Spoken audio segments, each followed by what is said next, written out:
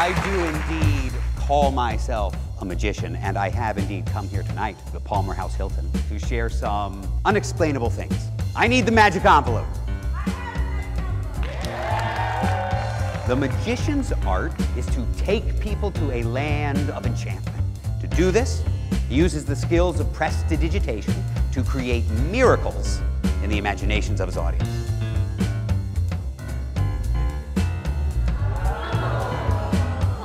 Jimmy, please hold one finger straight up in the air.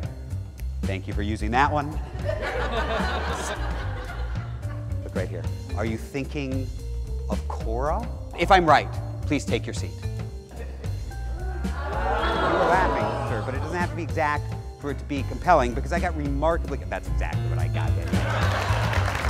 I want you to watch as closely as you can possibly watch because it is only after you have done so, only after you have really studied, truly scrutinized, that you will understand there is but one possible explanation, and that, of course, is magic.